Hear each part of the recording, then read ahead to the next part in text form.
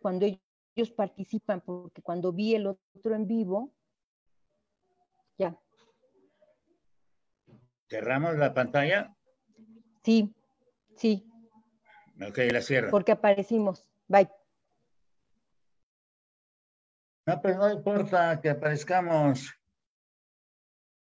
Cuando estaban hablando los maestros, cuando presentan los maestros.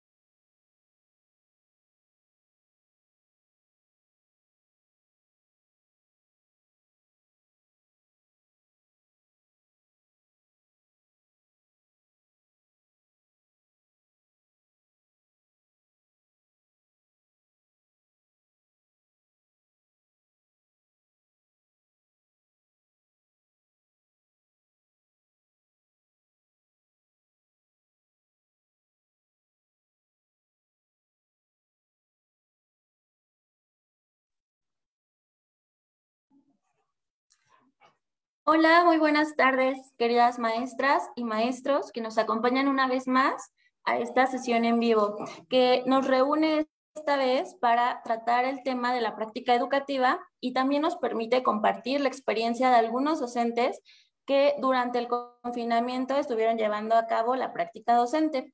Eh, como siempre, les agradecemos bastante su asistencia y participación en estas sesiones y pues bueno, también les extendemos un, un cordial saludo de la titular de esta unidad y bueno, en este orden de ideas, eh, me voy a permitir presentarles a mis compañeros de la Dirección General de Reconocimiento, quienes estarán a cargo de llevar el curso de esta presentación. Ustedes ya los conocen. Eh, les presento al maestro Manuel Quiles Cruz, director general de, de reconocimiento en esta unidad, y a mi compañera, la licenciada Laura Baselis. También nos acompañan. Hola, maestro. También nos acompañan en, esta dinámica algunos este, maestros que decidieron participar en, este, en este Facebook Live. Y bueno, les voy a presentar al maestro Claudio Cipriano Bustillos Lerma del estado de Chihuahua, al maestro Pacomio Vargas Lucas de Baja California, a la maestra Alba Montón Bejarano del estado de Oaxaca y al profesor Felipe Conrado, del estado de Quintana Roo. Muchas gracias, maestros. Bienvenidos. Bienvenidos sean todos ustedes. Y pues bueno, vamos a, dar, maestro Quiles, si me lo permite, vamos a dar inicio con algunas preguntas que quedaron pendientes en las sesiones anteriores y otras que nos hicieron a través de la página de la unidad. Si me lo permite, voy a empezar con la primera pregunta. Nos dice la maestra Nayeli Terán, ¿la narrativa puede incluir varias prácticas educativas o solo una en particular? Maestra Nayeli, es importante que solamente la narrativa sea en una sola temática, nada más. Ok, muchas gracias, Lick. Eh, la maestra Gabriela Rojas Ibáñez nos dice, ¿en dónde se entregan las narrativas de Ciudad de México o solo se sube el formulario? En el caso de la pregunta que hace la maestra Gabriela Rojas, eh, les pedimos por favor que la narrativa la suban en el formulario. Ahí suben su PDF en la plataforma de Venus y también les sugerimos que entreguen su, su narrativa en la escuela correspondiente porque inicialmente quien recibe las narrativas es la escuela. Si no fuese el caso o tuviera algún problema, inmediatamente tendría que localizar a su autoridad educativa, donde también junto con las evidencias, eh, su autoridad inmediata o superior eh, la recibirá. Ok, gracias maestro. La profesora Mariana Kame nos pregunta, ¿en dónde se sube la constancia que da el directivo? Porque yo solo subí la narrativa junto con las evidencias. Maestra Mariana, usted hizo lo correcto, nada más en la plataforma se sube la narrativa con sus evidencias. En el caso de la constancia, por favor, resguárdela. Esa solamente habla de que usted estuvo frente a grupo del periodo de marzo del 2020 a marzo de 2022, nada más. Esta es una duda muy frecuente, no se sube más que solamente la narrativa y las evidencias, por favor, es lo único y los únicos documentos o los elementos de apoyo a la narrativa que se suben a la plataforma. Y tampoco se entrega a ninguna instancia, esa la resguarda el participante. Gracias, Lick. La maestra Lina Gutiérrez pregunta, ¿cómo subo la narrativa y evidencias si están en diferentes archivos? ¿Y dónde se sube la constancia? Bien, aquí nuevamente es la misma situación de que hay que subir la narrativa al formulario. Algunos maestros están intentando diversas maneras para registrar evidencias. Hay quien hizo videos y coloca la liga del video en la narrativa desde ahí la podemos eh, ver. Pero también hay quien tiene otro tipo de evidencias. Lo que sugerimos es que suban la narrativa y las evidencias las entreguen a su autoridad inmediata en físico o por correo electrónico. La constancia, recuerden, la constancia no debe subirse, la constancia es de ustedes, es el comprobante de que ustedes entregaron su narrativa, de que están participando en este proceso único por las condiciones en que se está desarrollando. Gracias, maestro Aquiles. Eh, también nos pregunta la maestra Lisbeth Meneses que hasta cuándo puede participar. Maestra Lisbeth, eh, decirle que tiene hasta el día de mañana o viernes 8 de julio, todavía puede participar usted y todos los maestros y maestras de toda la República que estén interesados. Por favor, hacemos una, una invitación cordial para que quien no ha entregado, ya sea como lo hemos explicado, directamente con su autoridad inmediata o bien por medio de la plataforma y tienen hasta el día de mañana. No dejen de participar, los estamos esperando. Gracias, Lick. Eh, la maestra Love nos pone, ¿la carta del director se debe subir junto con la narrativa en la plataforma Venus? La carta del director, eh, bueno, la carta del director, perdón, sigue siendo la misma constancia. La constancia no debe subirse a ningún sistema y eh, solo la resguarda la maestra. Si yo soy el interesado, yo me quedo con mi constancia porque es mi comprobante de participación. Lo que tengo que entregar son el documento que es la narrativa, tres a cinco páginas, y las evidencias. La manera de hacer llegar las evidencias, como ya lo hemos comentado, son varias, inclusive por correo electrónico. Gracias, maestro. El profesor Ian, Ian escribe, si se puede participar en el reconocimiento a la práctica educativa y a la vez en promoción horizontal. Maestro Jan, efectivamente usted va a poder participar en ambos procesos sin ningún problema. Gracias, Lick. Sonia Hernández nos escribe, eh, enviaron rúbricas para evaluar las narrativas y no les dieron a conocer a los participantes. Bueno, aquí hay varios eh, aspectos que se van cumpliendo. Eh, las rúbricas lo que hacen es valorar lo establecido en las convocatorias, en la convocatoria sobre todo de práctica educativa implementada en pandemia, que es el proceso que estamos llevando. Eh, recuerden que hay en la misma convocatoria toda una serie de ideas de cómo debe de ser la narrativa, que debe de ser original, creativa, innovadora, impactante. Seguramente las narrativas tienen esas características. De otra forma, también eh, en los comités eh, escolares de zona o sector o entidad, también necesitan conocer estos aspectos que están desde la convocatoria y que para los evaluadores también hay una serie de orientaciones que se están llevando efecto. Deben de tener confianza en la valoración de la narrativa, porque la riqueza que están presentando en las narrativas, lo que nos dice es que el trabajo de los maestros ha sido grandioso. Gracias, maestro Aquiles. Eh, la pregunta de la profesora Bethany Delgado Salvador, que dice, ¿a qué link puede acceder para subir la narrativa? Y una vez que suben, a la, suben la narrativa, ¿qué es lo que sigue? El, link al que pueden acceder lo vamos a poner al final para que lo puedan ver y no irlo como describiendo, para que todos lo puedan ver. ¿Y eh, qué es lo que se sube? Nada más la narrativa, nada más. Es lo único que se que sigue, menciona la maestra. Bueno, una vez que usted ya subió la narrativa, que recuerden, tienen hasta el día de mañana para poder ingresarla, ya sea por la plataforma o directamente con su director en la escuela. Lo que sigue es que después viene un periodo donde se instalan comités dictaminadores. En, ese, en esos comités van a ir eligiendo por cada etapa, sea escuela, sea zona, sea región o entidad, eh, para que se vayan seleccionando las narrativas que van siendo las elegidas. Eso es lo que va a seguir dentro del proceso tal y como aparece en la convocatoria. Claro que sí. Muchas gracias, Lick. Y bueno, maestro Quiles, si me lo permite, eh, o como usted me indique, podríamos dar parte ya a que los maestros vayan compartiendo su experiencia. Le cedo la palabra para que usted nos indique. Claro que sí, claro que sí, maestra Maricruz, le agradezco mucho. Hoy tenemos un programa excepcional porque están maestros de educación indígena, eh, maestros muchas veces están en desventaja total en el trabajo. Algunos de ellos están en escuelas multigrado, otros están en escuelas de organización completa, porque también las hay en educación indígena.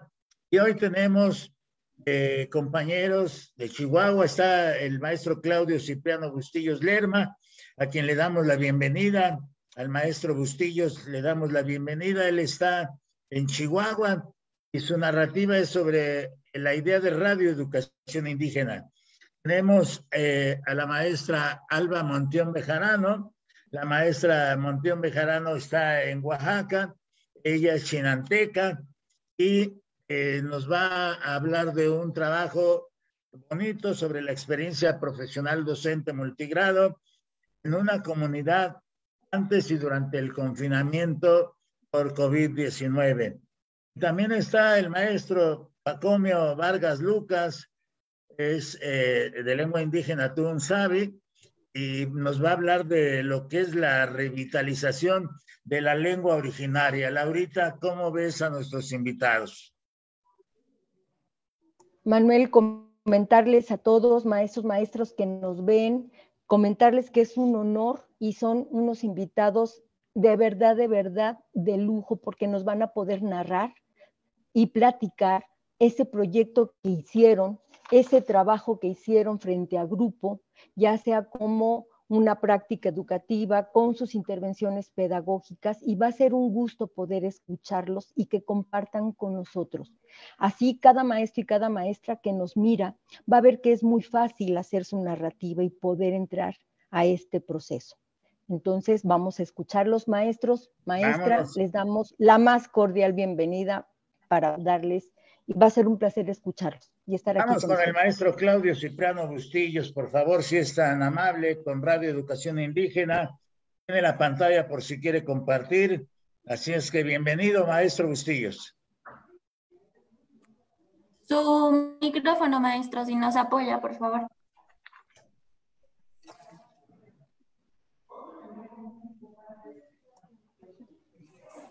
Claro que sí, muy, muy buenas tardes a todos. Gracias por, por la invitación de antemano. El proyecto con el cual yo estoy participando en esta convocatoria lo, lo ubico dentro de, del tema trabajo educativo en el entorno comunitario, debido a que es un trabajo que se desarrolla en, colaboración con un inmenso equipo de, de, trabajo que son mis compañeros de, de, la zona, ¿verdad?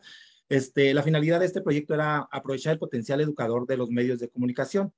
Como ya se mencionó, el programa, el título es Radioeducación Indígena. Nuestra finalidad fue en vistas de, de ver la necesidad de, de poder llegar hasta nuestros alumnos por estar en pandemia y que la forma más propia, ¿verdad?, de, llegar a ellos, pues era por medio de la, educación eh, vía radiofónica. Entonces buscamos justamente llegar a ellos para, para situar nuestro aprendizaje, para fortalecer las lenguas, para atender la cultura, la identidad de nuestras niñas y nuestros niños, apostándole que la experiencia radiofónica pues sería la propuesta más adecuada para, para buscar esta parte de, de integrar los conocimientos con, con, nuestros alumnos.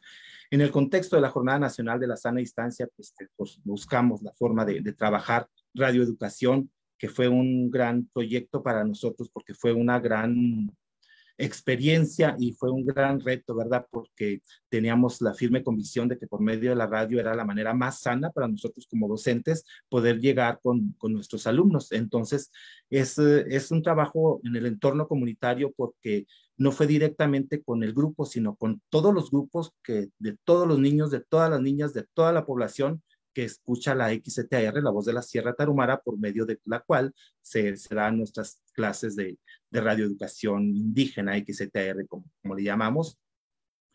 Cabe mencionar que las transmisiones pues, se realizaron en los 870M de la XTR, la voz de la Sierra Tarumara, como la conocemos. También se salía nuestro programa por medio de internet, ecosimpigo.xtr, y teníamos un horario de 8.30 a 9.30, este horario Chihuahua, ¿verdad? Iniciamos el 29 de abril del 2020, entonces en plena, plena pandemia, iniciamos nosotros con nuestra primera transmisión de nuestra primera clase en, en radio, ¿verdad? Y pues nos escuchamos de, en 17 de los 22 municipios de la Sierra Tarumara, entonces fue una gran, una gran cobertura, ¿verdad? Que en la que se, se logró abordar este, nuestro programa de radio, independientemente de que le apostábamos a que nuestros alumnos nos escucháramos, pues nos escucharon niños de otros niveles, eh, de otras escuelas, escuelas particulares, de otros estados también. Hubo una temporada que tuvimos la, suerte y la certeza de tener buena relación con Radio Universidad de, la capital Chihuahua y nos retransmitían nuestro, nuestro programa educativo fueron seis temporadas, este, conforme fuimos trabajando las temporadas, este, trabajamos 59 programas por medio de campos formativos. Estos 59 programas los trabajamos de, de, lunes a domingo, toda la semana, porque trabajábamos toda la semana de lunes a viernes para educación primaria. El sábado lo trabajábamos para educación preescolar y el domingo lo trabajábamos para educación inicial. Después, pues nos, nos reconstruimos, ¿verdad? En una segunda temporada con 75 programas, lo trabajamos ya por medio de proyectos este, donde trabajamos incluyendo primarias, este, incluyendo preescolar, incluyendo educación inicial, pero teníamos un tema generador, un proyecto generador que se lograba cumplir en toda, en toda la semana.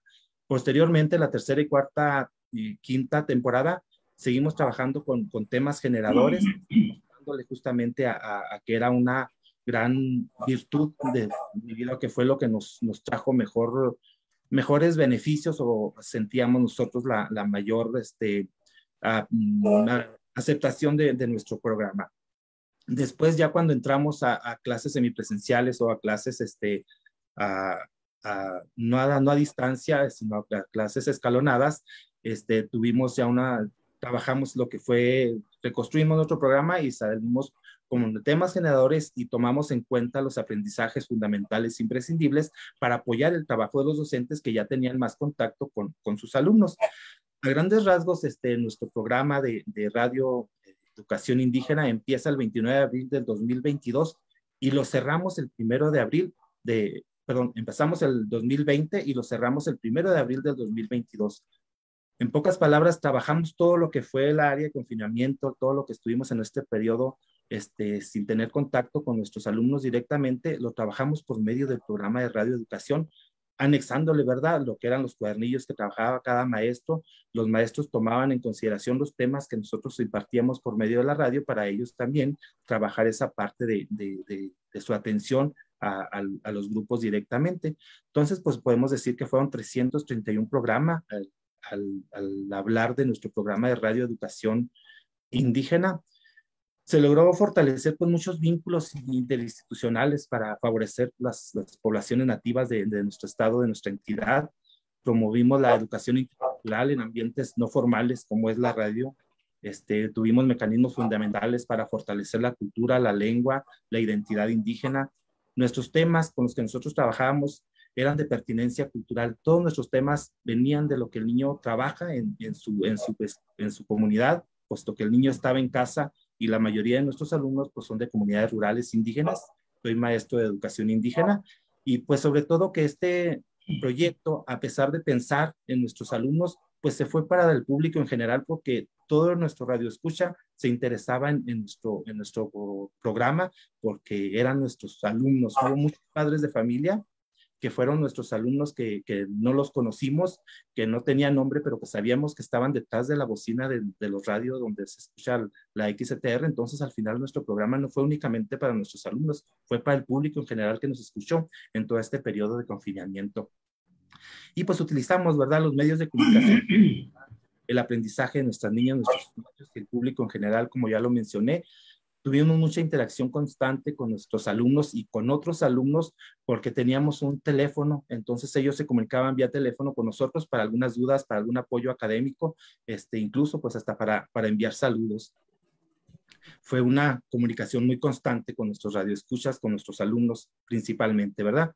Tuvimos muchos instrumentos también de evidencias de trabajo, porque nos enviaban también sus fotos a, ese, a ese teléfono de, lo que ellos estaban trabajando. Entonces tenemos trabajos este, digitales, tenemos, contamos con trabajos este, de, maestros, los mismos trabajos de los alumnos que nos los entregaban para que nosotros los revisáramos cuando íbamos a intercambiar cuadernillos. También nos entregaban esos, esos trabajos que, que realizamos. Por ejemplo, hicimos libros cartoneros, tengo, tengo libros cartoneros de, de mis alumnos donde ellos trabajaron esos libros cartoneros porque el proyecto era hacer un libro cartonero. Entonces, pues hay evidencia de que nuestros alumnos nos escucharon. Trabajamos este, lo que eran las algunas eh, adivinanzas. Entonces, en un lado tenemos la adivinanza en lengua materna, porque recordemos que nuestro programa era en lengua materna. Trabajamos lo que eran las, cuatro lenguas maternas que se escuchan en, en, esta área de la Sierra Tarahumara, que es el Raramuri de la Alta, Raramuri de la Baja, el, el.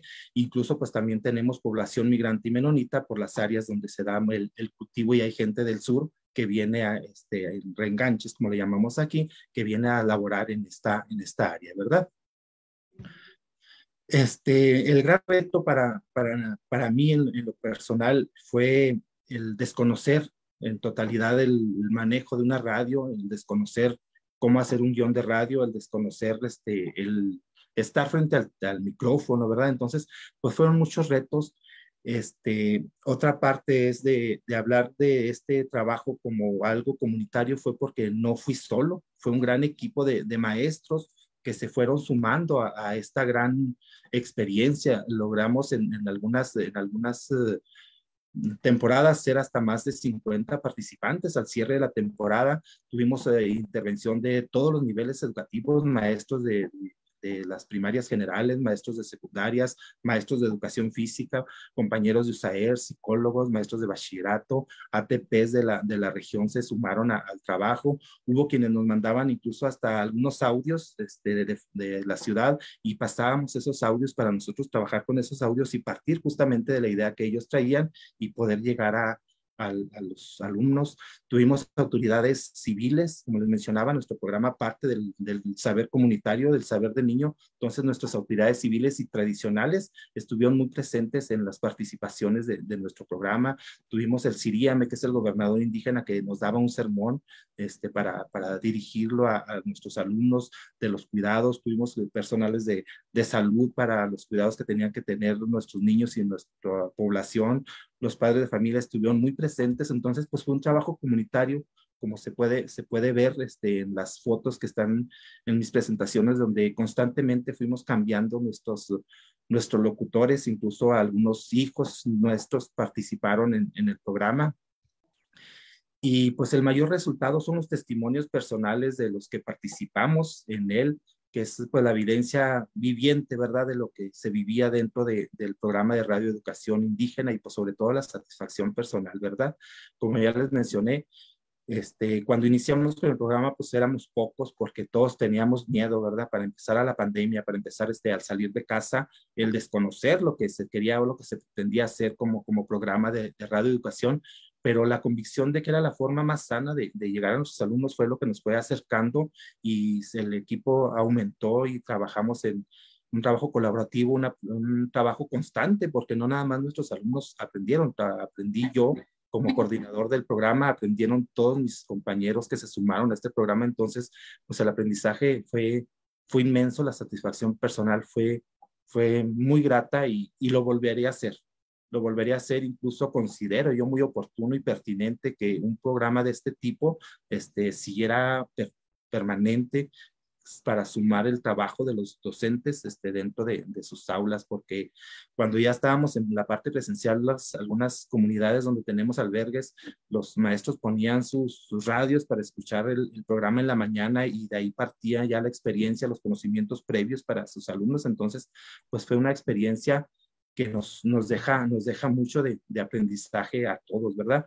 Y pues sobre todo, este, como ya mencionaba, este, es importante las relaciones este, interinstitucionales, que algo que nos ayudó mucho fue la, la buena coordinación que tenemos con el director de INPI XCTR, el licenciado Leonardo Padilla, y nos apertura las puertas para pues, poder nosotros impartir nuestras clases y, le encantó la idea porque era un programa en, vivo, nuestro programa siempre estuvo en vivo, nunca grabamos, bueno, excepto los programitas donde nos mandaban algún audio que nos servían a nosotros para partir para nuestra clase, pues ese sí era grabado, ¿verdad?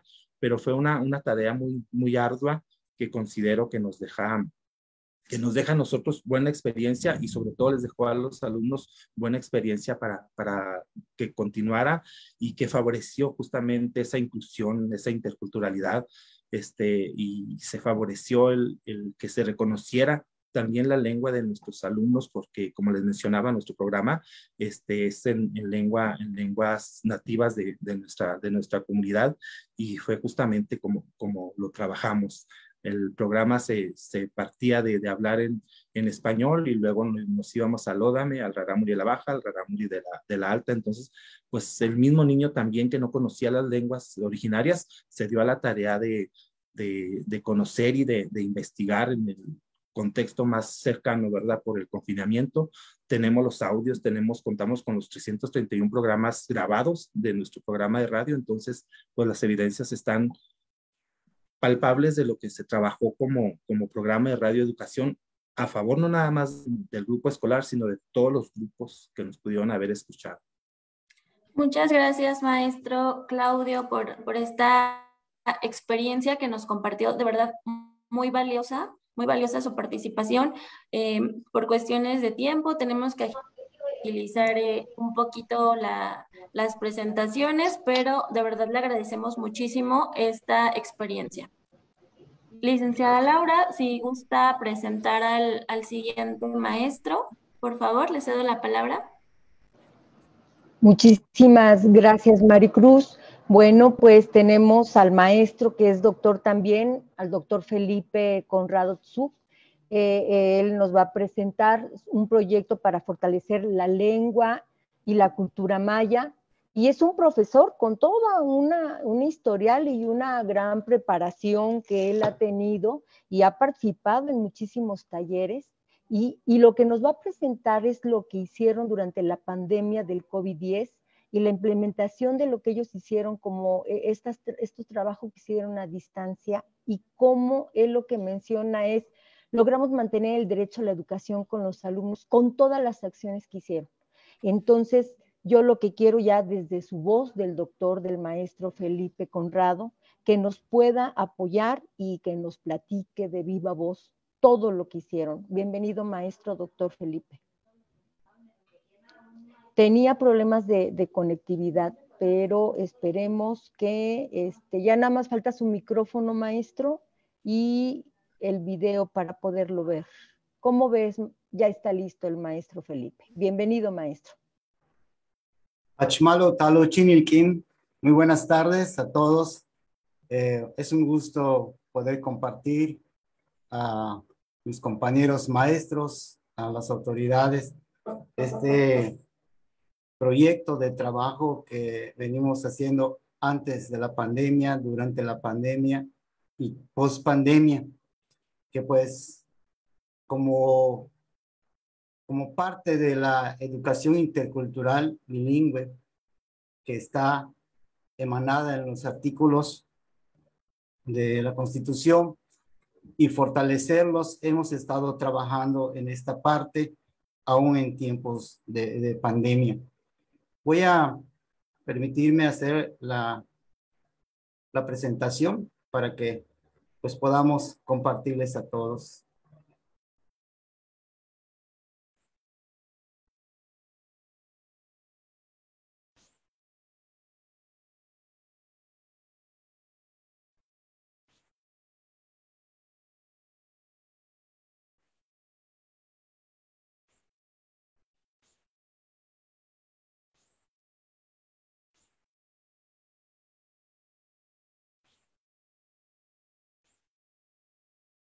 Mm-hmm.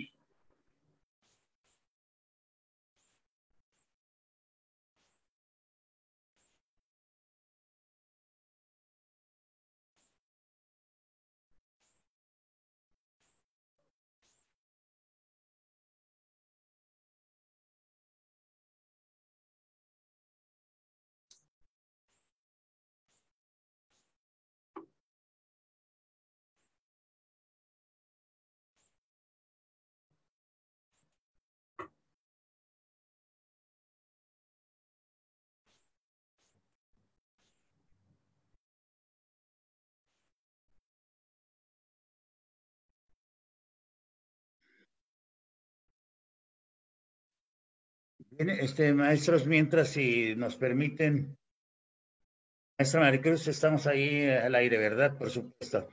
En lo que nos puede regresar la pantalla el maestro Felipe para que pueda reorganizar ahí su archivo.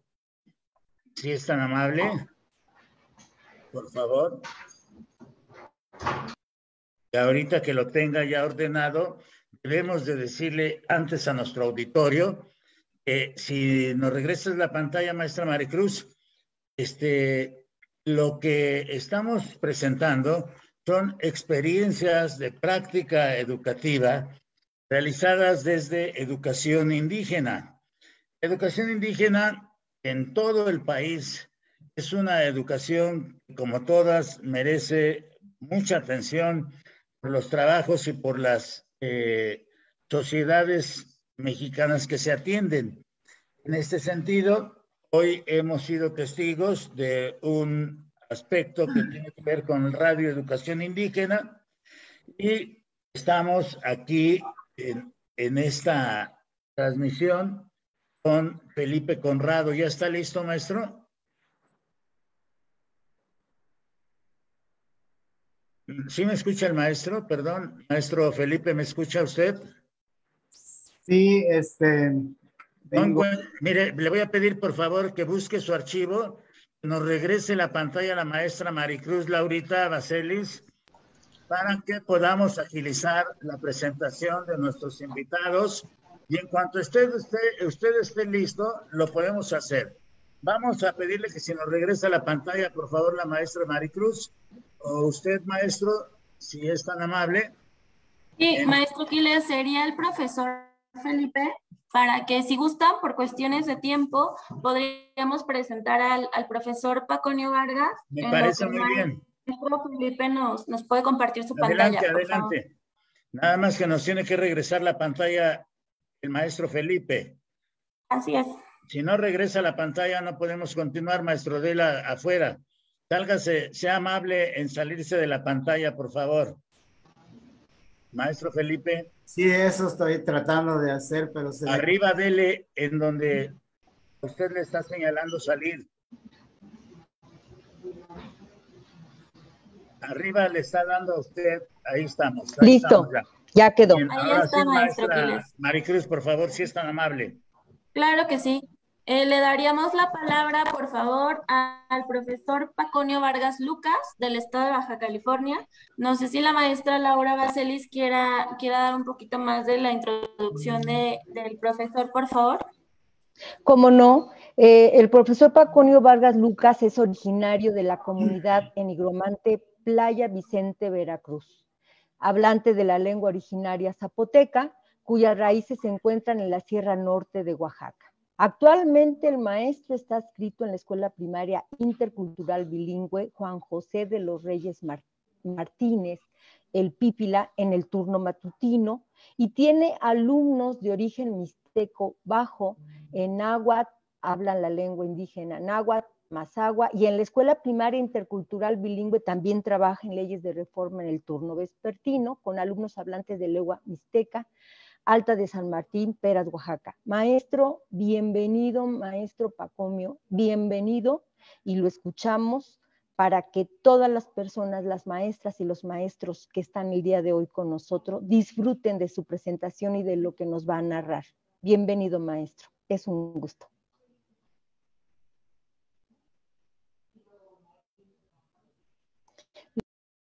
Su micrófono, maestro Pacomio, nada más.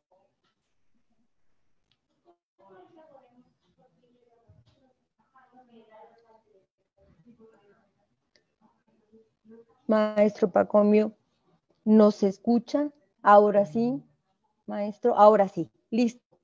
Es un gusto darle la bienvenida. Este, buenas tardes. Este, ¿Sí se mira mi pantalla?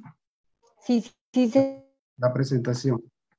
También se mira, maestro. Gracias. Este, saludo en lengua zapoteca y en lengua tunsavi. Padiush Duyindo. Eh, la revitalización de la lengua originaria Tunsavi en la comunidad escolar. Medalía Pacomio Vargas Lucas, hablante de la lengua zapoteca.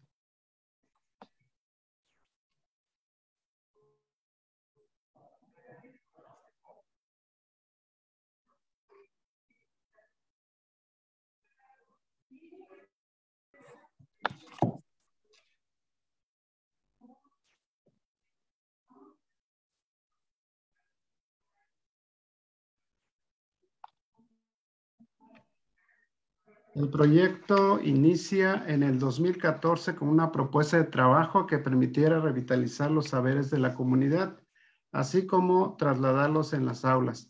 El trabajo se organiza por temas de acuerdo al bloque y ciclos escolares, haciendo adecuaciones, ajustes durante los periodos escolares, llegando así a sistematizar la información de la asignatura lengua indígena. Los docentes trabajan de acuerdo a las características de los grupos escolares practicando las frases y los números en el contexto de la escuela. Se trabaja de manera colaborativa, dando oportunidad de aprender juntos como un colectivo desde un enfoque intercultural para reconocer el grado de avance de los y los y las alumnas se diseñaron evaluaciones periódicas que permitieran dar cuenta de la apropiación del conocimiento, el manejo de la lengua oral y escrita Asimismo, se otorgaron reconocimientos. La propuesta hace énfasis en la importancia del aprendizaje de las frases y los números. En cuanto a los números, cobra relevancia en el análisis del sentido que tienen al ir construyéndolos, ya sea ir agregando o combinando, se van sumando hasta llegar a obtener otro valor. Descubrieran algunas reglas básicas de escritura en los números. El objetivo general es revitalizar la expresión oral y escrita de las lenguas originarias que se hablan en la comunidad escolar desde un enfoque intercultural bilingüe. Objetivos específicos es sensibilizar a los alumnos y padres de familia indígenas y no indígenas acerca de la importancia de las lenguas originarias, practicar las frases y los números de manera oral de las lenguas originarias en el aula y casa utilizar diferentes recursos didácticos y audiovisuales para la enseñanza y aprendizaje de la lengua que se habla en la comunidad escolar eh, y durante la pandemia. Descubrir el uso del alfabeto actualizado para desarrollar la escritura de Tunsavi y diseñar un instrumento de evaluación, recuperando las frases y los números de uso cotidiano como parte del proceso de evaluación de la asignatura lengua indígena evaluar los avances, muestras y evaluaciones trimestrales, haciendo uso de gráficas en los CTEs para la revisión de los resultados del logro en la apropiación de las frases y los números según el grado y grupo. La justificación en la colonia obrera tercera sección en el municipio de Tijuana, Baja California, se caracteriza por contar con una población migrante, principalmente Oaxaca, Estado de México, Hidalgo y Veracruz, por lo que en nuestra escuela tenemos hablantes de las lenguas mixteco, náhuatl y mazahua. Al no existir un programa contextualizado y las adecuaciones curriculares para la enseñanza de, de las lenguas indígenas, surge la necesidad de contar con estrategias y una metodología. De manera personal surge la iniciativa como docente indígena, primero por el gran interés de promover nuestras lenguas y cultura, Asimismo, mi experiencia a través de los años en el uso, fomento y promoción de las lenguas originarias que habla la población migrante que llega en el estado de Baja California. Ha sido posible proponer y desarrollar esta propuesta desde la comunidad y la escuela. Actividades implementadas. Se realizaron visitas domiciliarias a madres y padres de familia y docentes hablantes de la lengua mixteca se realizó la producción de texto utilizando el alfabeto, así como las normas de los números de la lengua indígena. Se transcribieron narraciones orales, leyendas, mitos, cantos tradicionales y descripciones de plantas medicinales propias de su cultura, como parte de las actividades de los compañeros docentes. A través del trabajo colectivo con las y los docentes, se ha compartido estrategias y metodologías para la enseñanza y aprendizaje de la lengua indígena Tunsabi. Se ha elaborado material didáctico y dinámicas de trabajo que facilitan la enseñanza y el aprendizaje de la lengua. Se ha compartido espacios para la enseñanza de la lengua indígena e información sobre la enseñanza de las lenguas indígenas con escuelas públicas y privadas del sistema educativo en Baja California. Generamos un, interés eh, en los alumnos, en los padres de familia por el aprendizaje de la lengua indígena. Se ha sensibilizado sobre las ventajas que tiene aprender otra lengua. Fortalecimos el trabajo colaborativo entre directivo y docentes al compartir experiencias, estrategias y metodologías para la enseñanza y aprendizaje de la lengua indígena. En el documento PEMSE se registra el ámbito de la lengua indígena, en la cual se establecen las acciones para la asignatura de lengua indígena en cada ciclo escolar. Se cuenta con materiales de apoyo para la enseñanza y aprendizaje de la lengua. Se diseñaron exámenes diagnósticos que permiten ubicar a los alumnos en el nivel inicial, intermedio y avanzado. Asimismo, pruebas bimestrales y trimestrales. Conclusiones. Eh, concluyo diciendo que la importancia que se le dé a la oralidad de la lengua indígena Tunsabi, buscando siempre que los alumnos se expresaran, entendieran las frases, la composición, la regla de los números y que fuera significativo para su estudio. Después, pensar en incorporar las reglas de la escritura de la lengua indígena desde el manejo de su propio alfabeto. Como comunidad de aprendizaje y docentes indígenas, se reconoce el esfuerzo y el entusiasmo de las y los profesores para llevar a cabo su práctica educativa en la asignatura lengua indígena en favor de nuestra niñez indígena en nuestra entidad. Gracias. Muchas gracias, maestro Pacomión, por su invaluable participación. Ahora, maestro Manuel Quiles, le cedo la palabra para presentar al siguiente docente, por favor. Muchas gracias, maestra Maricruz. Muy amable a todos los participantes. Maestra, ahorita vamos bien en esta presentación de educación indígena. Nada más para comentar que tendrán que hacer las adecuaciones correspondientes a la narrativa y enseguida viene con nosotros Alba Montión Bejarano. Alba Montión Bejarano trabaja en una escuela, eh, una escuela multigrado es, eh, a la vez es maestra, es directora, es todo en esa institución, en esta institución, y eh, vamos a recibirla. Es una maestra que se ha dedicado al estudio, aparte del trabajo que tiene con sus estudiantes, este, ha logrado estudios de doctorado y eh, egresada también de la Universidad Pedagógica Nacional y ha participado en diversos eventos, México, Estados Unidos, en este programa binacional de educación migrante, que es muy importante, y he escrito algunos artículos. Vamos a recibir a la maestra Ana Monteón Bejarano, que nos platique sobre esta experiencia en pandemia, antes y durante el confinamiento. Adelante, maestra Alba, y tan amables, eh, podamos cerrar los micrófonos correspondientes. Muy buenas tardes a todos. Eh, mi nombre es Alba Montión Becarano. Eh, soy originaria de la región de La Chinantla, en el estado de Oaxaca. Eh, tengo 16 años de servicio frente a grupo. Actualmente laboro en una escuela multigrado, directora, docente. Hacemos muchas actividades ahí, puesto que es una escuela multigrado en el nivel de educación indígena. Bueno, eh, me da mucho gusto estar participando en esta tarde y dando mis aportaciones con ustedes.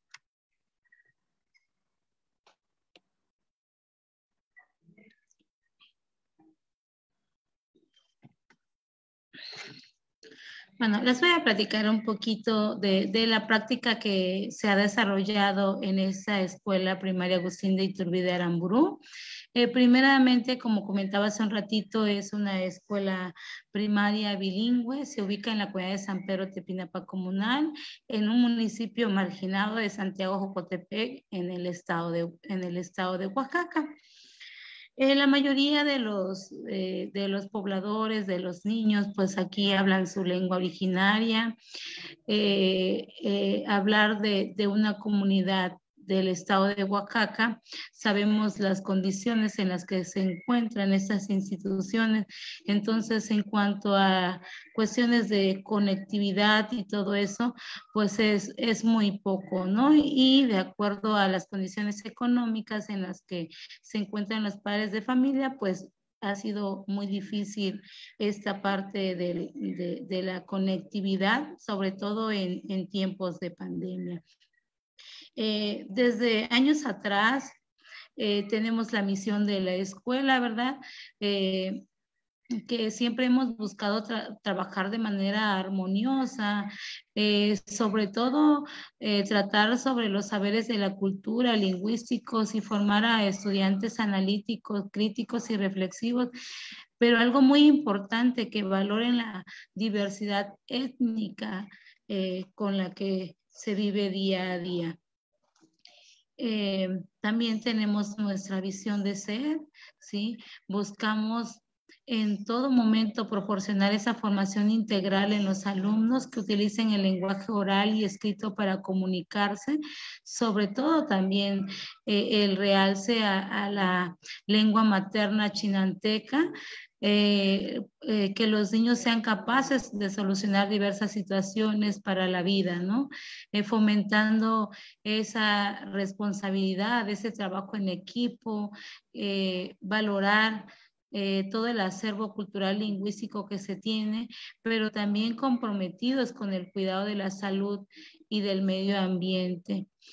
Y esperamos pues que en un futuro sean buenos promotores eh, eh, de esa cuestión lingüística, cultural. Um, eh, ¿cómo, inicia, ¿Cómo inicia este proyecto? los resultados que se tienen en, en, todos los instrumentos de evaluación diagnóstica que se fueron aplicando, realmente eran unos resultados que era muy preocupante, sobre todo por las necesidades que tenían nuestros alumnos. Se reflejaban diversas necesidades en cuestiones eh, en las áreas de comunicación, de pensamiento matemático. Los alumnos no habían desarrollado la fluidez lectora, no respetaban los signos de puntuación en sus escritos. Eh, no se habían apropiado de, de, de la lectura lectura. Recordemos que, como decía en un momento, se trata de una escuela multigrado eh, con dos docentes, somos dos. Eh, la primera parte, mi compañera eh, se encarga de primero a tercer grado y yo de cuarto a sexto grado. Entonces, era una situación muy compleja, ¿no? Entonces, eh, los niños presentaban dificultad para comprender, para escribir diferentes tipos de texto, también para expresarse en forma oral, dificultad para escribir en su lengua materna chinanteca, porque, como decía hace un ratito, la mayoría lo habla. Lo difícil era para que lo escribieran. Y también así, este, en la cuestión del pensamiento matemático, el cálculo mental. Entonces, ante la contingencia de lo, del COVID-19, y la falta de tecnología que comentaba hace, hace unos momentos por parte de los alumnos, de los padres de familia, de, de la comunidad en general, se puso eh, pues en marcha esta estrategia desde el primer momento en que las autoridades de salud nos avisan sobre la cuestión de, del confinamiento, sobre que era obligatorio este, aislarnos, ¿no? Fue una situación prácticamente eh, muy, muy preocupante y decir, bueno, ahora cómo le hacemos, qué hacemos, ¿no? Para que nuestros niños eh, eh, mejoren y, este, y salgan de, de, esas necesidades que en nuestras manos estaba cambiar. Entonces surge esta propuesta pedagógica de intervención que le titulamos Leico y Esia. Leo, escribo y comprendo y uno, dos, tres, elige, cuenta y aprende, en donde los objetivos generales era formar lectores, escritores mediante diversas estrategias que permitieran fortalecer el proceso de enseñanza-aprendizaje en todos nuestros alumnos. Y pues buscábamos implementar una estrategia metodológica para la enseñanza-aprendizaje de las matemáticas a través del juego situaciones que fueran lúdicas para que los niños, para que a ellos eh, les resultara interesante, gratificante y a través de ello pues aprendieran. Eh, eh, de igual manera nuestros, nuestros objetivos específicos. Entonces, todo iba en relación a desarrollar esas habilidades básicas comunicativas y de pensamiento matemático, ¿no? Entonces, eh, eh, de por sí, antes del confinamiento por el COVID-19, eh, siempre hemos desarrollado proyectos áulicos, proyectos institucionales, pero aquí este, partíamos de, de, unidades didácticas para este, eh, para batir con el rezago, con el abandono escolar, con este, mejorar todos los aprendizajes de, nuestros alumnos. Por lo tanto, pues eh, veníamos también desarrollando eh, diversas actividades, ¿no? Entonces, por lo que antes y durante la pandemia se fueron implementando diversas acciones como círculos de lectura, dramatizaciones, eh, la cuestión de la investigación, nuestra escritura en, en lengua materna, sorbos de lectura, talleres y, y fábricas de cuentos, de leyendas. Entonces, al entrar o al estar eh, en el confinamiento, eh, hicimos todo lo posible, ¿no? Todo lo que estaba eh, en nuestras manos y prácticamente no fue un receso como tal para nosotros, pues porque nos ubicamos en comunidad. Entonces, mm, la verdad fue un gran apoyo el que mi compañera hubiese aceptado eh, trabajar durante ese tiempo de pandemia, poner de su parte, porque sin ella pues prácticamente tampoco lo hubiese logrado. Fue un trabajo en equipo prácticamente y entonces viendo que la comunidad no contaba con todo lo que nuestras autoridades educativas nacionales decían, es que bueno, la cuestión a distancia, es que eh, eh, el trabajo en línea y todo eso, nosotros no lo pudimos desarrollar, pero sí estuvimos ahí pandemia la escuela prácticamente fue más presencial, eh, eh, de manera escalonada con los niños, entonces eh, se establecieron de igual manera los objetivos, las metas. El trabajo fue este, muy gratificante y sobre todo el aprendizaje que nuestros niños aprendieron, porque tuvimos que darle un giro de 360 grados eh, para desarrollar eh, eh, de manera diferente nuestras, actividad, nuestras actividades, ¿no? Entonces, durante el confinamiento desarrollamos diversos tipos de textos, trabajamos cuestiones con la entrevista con los padres, con los niños, cuestiones socioemocionales, actividades, actividades lúdicas, cuadernillos de trabajo que también lo realizaban en casa, el apoyo de los padres de familia. Eh, fue muy, fue muy, este, eh, fue muy gratificante. Se, se, hicieron antologías de lectura para favorecer la comprensión. El acompañamiento entonces fue más personalizado que, que a distancia, ¿no? Eh, mm, todos esos, eh, proyectos áulicos que se desarrollaron para eh, favorecer de manera transversal el aprendizaje de los niños fue, fue, fue muy bonito, fue algo que lo volvería a hacer una y otra vez. La verdad mi trabajo me encanta y a pesar de que está en una comunidad muy marginada, sigo ahí después de 16 años y ahí voy a seguir, ¿no? Entonces, también se hicieron eh, aportaciones en contenidos en lengua chinanteca para la serie radiofónica Aprendiendo desde mi comunidad, la cual también eh, impulsó diversos aprendizajes contextualizados. Pudimos llegar más allá eh, de nuestra comunidad, ¿no? Entonces también hicimos uso del perifoneo para brindar mayor información con los, con los padres de familia, ¿no? Entonces, pues eh, uno de mis principales retos o miedos durante esta pandemia era que, pues a lo mejor los padres de familia nos dijeran, ¿no? Que que no estuviéramos ahí o cuestiones porque vivimos situaciones en las que no podía ni llegar a casa porque el camino se cerraba, porque pues como veníamos de otros lados no nos permitían pasar, ¿no? Entonces el miedo era cómo hacerle, pero eh, eh, afortunadamente los padres de familia nos apoyaron, nos dijeron que podíamos estar ahí y, este, y que teníamos todo su apoyo, ¿no? Sobre todo porque ellos no tenían otros medios para para fortalecer el aprendizaje de sus hijos, ¿sí? Entonces, eh, eso nos ha dejado muchísimo aprendizaje. Considero que, pues, eh, toda la comunidad docente eh, tiene muchas aportaciones que dar y muchas cuestiones que, que pueden, eh, que pueden hacer ese cambio, sobre todo para, para nuestros niños, sobre todo para, para educación indígena. Me siento muy afortunada de, de, de estar en esta área en la que estoy y pues sobre todo, ¿no?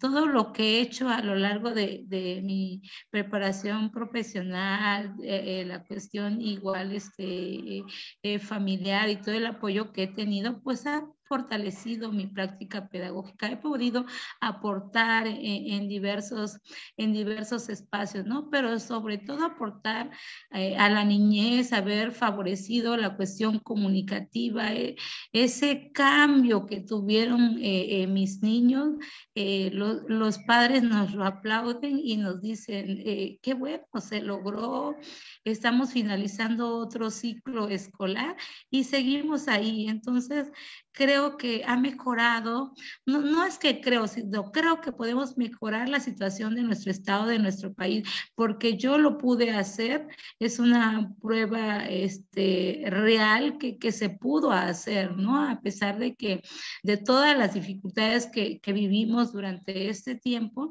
eh, se siente uno satisfecho de, de lo que ha logrado. Entonces, volvería a realizar esta y otras propuestas porque fue muy gratificante, fue muy bonito, muy hermoso.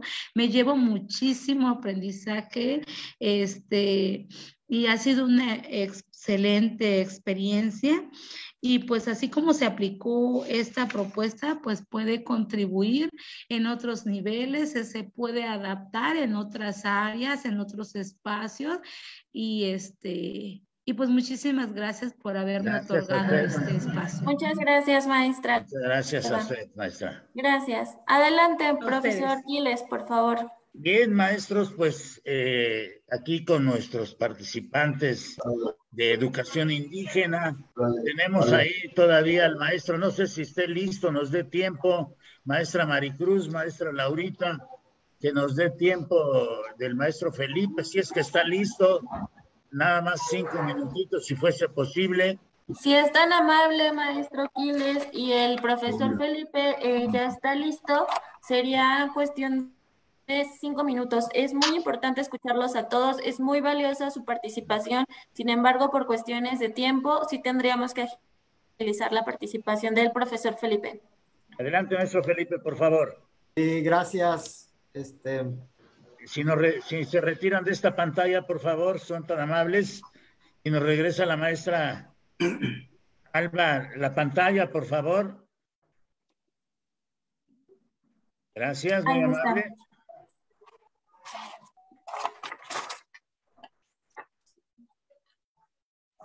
Maestro Felipe, por favor, adelante, si es tan amable. Sí, eh, muchas gracias por cuestión de tiempo. Pues este, voy a platicar rápidamente y poner un video que, que casa con el tiempo, eh, que es la síntesis de toda esta actividad que hemos estado haciendo. Le decía, comentaba al inicio que por cuestiones de, de la pandemia, eh, nosotros seguimos trabajando algo así similar al proyecto que decía la maestra anterior. Nosotros entrábamos de manera semanal a asesorar a los alumnos, eh, entregar cuadernillos a los niños que estaban de manera regular y también este, asesorar o trabajar de manera este, directa con alumnos que tenían problemas de aprendizaje que previamente habíamos detectado mediante las evaluaciones diagnósticas. Bien, maestro, adelante. Está amable.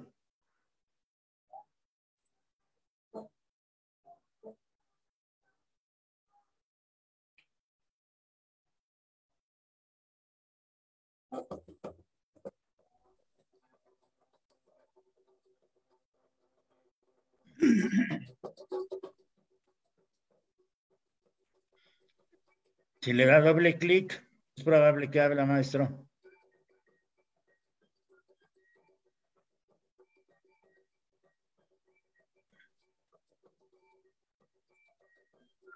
Si le da doble clic, puede abrir tal vez, maestro.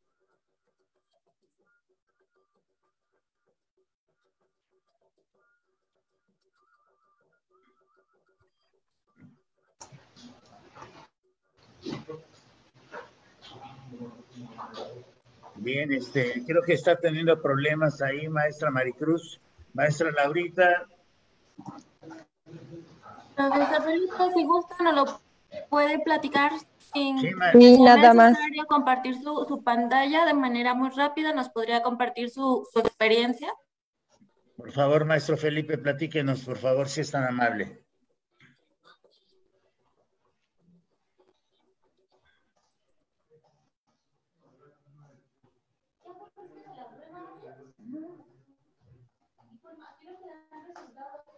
Maestro Felipe, ¿sí me escucha? Sí, Platíquenos mejor, platíquenos, sea tan amable en platicarnos con base en la nota que usted recibió, por favor. Este, pues el, trabajo en sí es un, es un trabajo que nosotros detectamos eh, cuando entramos, en mi caso muy particular, en la Comunidad de la Esperanza, eh, en la escuela primaria Andrés Quintana Roo, muchas de las prácticas eh, culturales se estaban perdiendo, se estaba este, eh, en desuso, incluso, incluso hasta la lengua, eh, algunos nada más hablaban.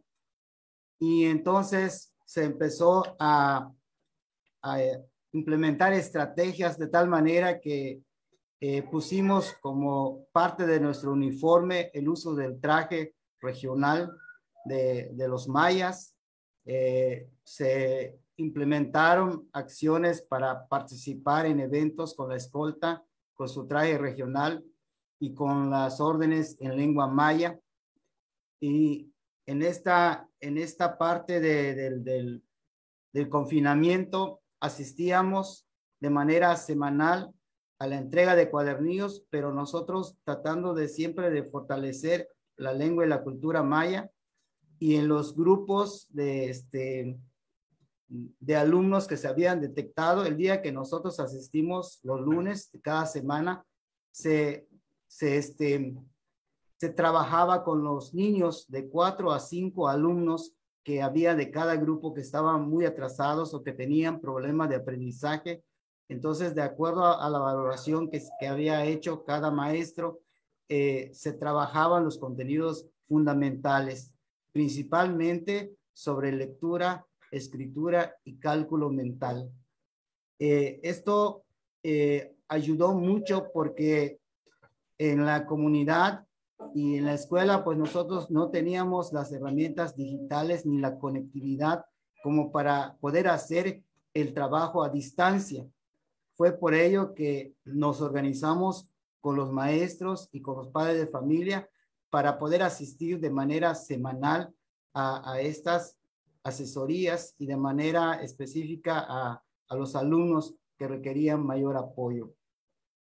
En cuanto al fortalecimiento de la lengua y la cultura maya, pues se, se han seguido haciendo actividades para que los niños no tengan eh, pena o vergüenza en hablar su lengua maya, en portar su traje regional y este y eso nos ha llevado a, llevar a, ir en, en, la cabecera municipal o en, en los diferentes lugares donde nos invitan para que participe la escolta o para que participe los niños en un coro con, con este encantos en lengua maya o participaciones en lengua maya.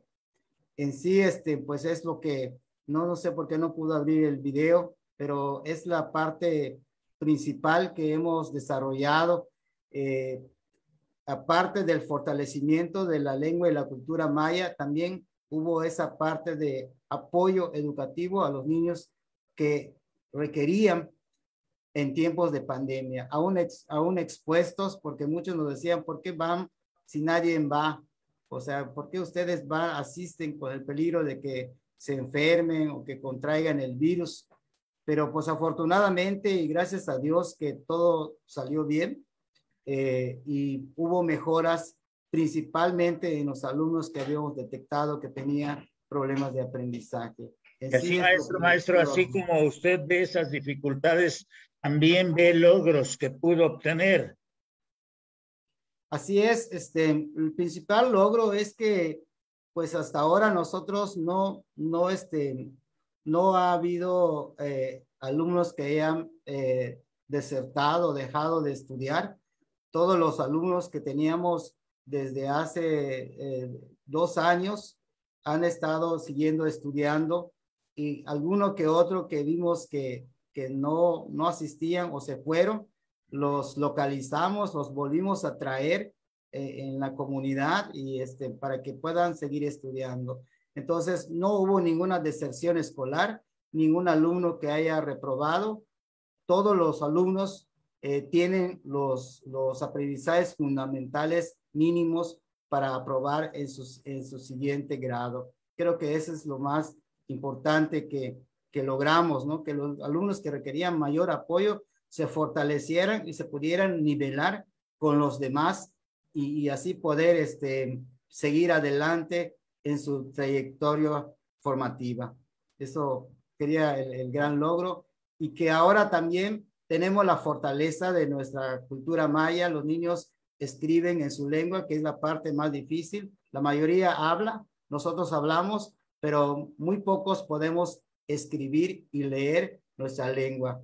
En nuestro caso, hemos estado mejorando también en, en esa parte, ¿no? En la lectoescritura de la lengua indígena maya. Muy interesante, maestro, muy interesante. Eh, seguramente, bueno, pues tendrá que entregar las evidencias como nos las iba a presentar.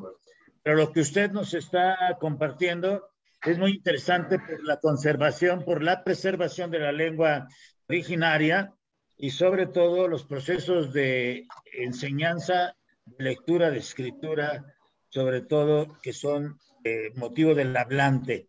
Así es que Laura Baselis, por favor, si es tan amable, maestra Laurita. Y maestro, muchas gracias.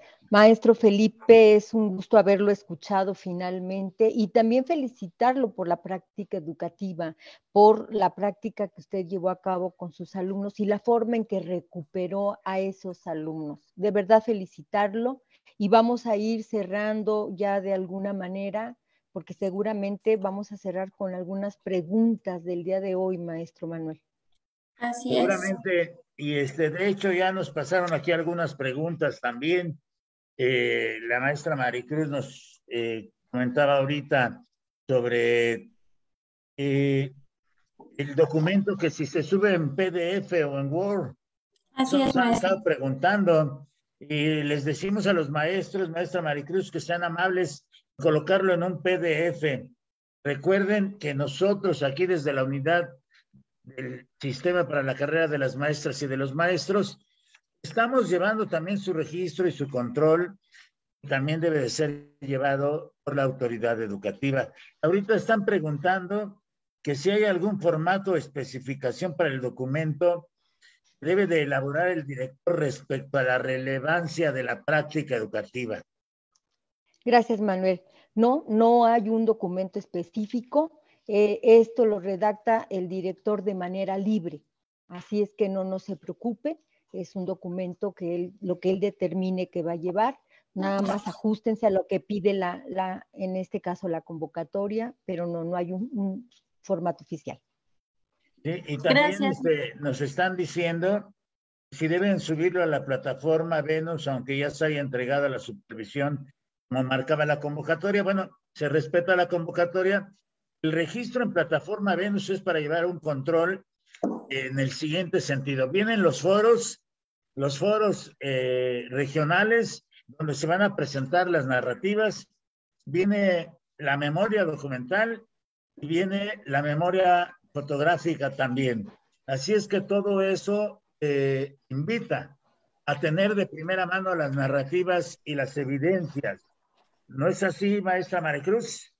Así es, maestro Quiles, licenciada Laura. Eh, la última pregunta con la que cerraríamos y que también es una pregunta un tanto recurrente. ¿Quién va a evaluar estas narrativas? Lo van a evaluar comités dictaminadores que se van a establecer en un primer momento, va a ser en la escuela, el director establece, lo integra con tres personas que ellos determinan, posteriormente siempre va a ser un comité dictaminador que van a estar integrando de acuerdo a la etapa, sea escuela, sea zona, sea sector, región o entidad. Muchísimas gracias, licenciada. Con mucho gusto. Y, yo quisiera agregar, yo quisiera agregar para recordarles a todos que tienen hasta el día de mañana, 8 de julio, para que puedan subir sus narrativas y nada más aclarar una parte. Si la suben la narrativa por Venus, no se preocupen, nosotros vamos a hacer el vínculo con su entidad y su entidad los va a localizar. Si ya lo metieron en su escuela, ya no se preocupen en meterlo a la plataforma Venus es en una de las dos instancias y si lo hicieron en las dos, nosotros hacemos el vínculo. No se preocupen, por favor. Más bien, ocúpense en entregar ya para el 8 de julio mañana sus narrativas para todos los que falten. Ya los esperamos. Y queremos ya una vez recibidas las narrativas, seguiremos el proceso para señalar los acreedores a la distinción de implementación de la práctica educativa en pandemia, para decirlo así muy resumido. Si la contingencia sanitaria obligó a, maestros como nuestros acompañantes esta tarde, los obligó a generar proyectos y desde ahí vemos la creatividad, la originalidad, el impacto y la innovación que tienen los maestros, sobre todo cuando nos dicen y reconocen lo que lograron. Así es, maestro. Pues si me lo permite, ya estaríamos concluyendo la sesión del día de hoy, agradeciendo siempre pues la presencia de todas las personas que, que se conectan, que están pendientes a los Facebook, a los Facebook Live, eh, la presencia obviamente y participación de los, de los maestros que nos acompañaron el día de hoy y no sé si tenga algo que comentar la, licenciada Laura para, poder ir cerrando. Nada más este, al maestro Claudio, al maestro Felipe Paconio y a la maestra Alba, gracias por haber estado con nosotros, por habernos participado, sus experiencias que nos son muy útiles y que a todos los maestros y maestras que nos acompañan también se generan nuevos aprendizajes con lo que ustedes nos comparten. Una felicitación, gracias y gracias a todos los maestros y maestras que nos acompañan y nos han acompañado cada semana en este proceso y les mandamos un caluroso abrazo a cada una, a cada uno y esperamos sus narrativas, las queremos conocer. Un abrazo. Nos vemos dentro gracias. de siete días, dentro de siete días, el próximo jueves nos vemos para hablar del proceso de la evaluación, de la valoración, de la recepción, de los números que finalmente vamos a tener para distinguir a, los a las maestras y a los maestros mexicanos. Muchas gracias, maestra Maricruz. Muchas gracias, Laurita. Gracias. Gracias. gracias. Nos, nos, vemos pronto. Gracias. Hasta luego. Gracias. Hasta luego. Gracias.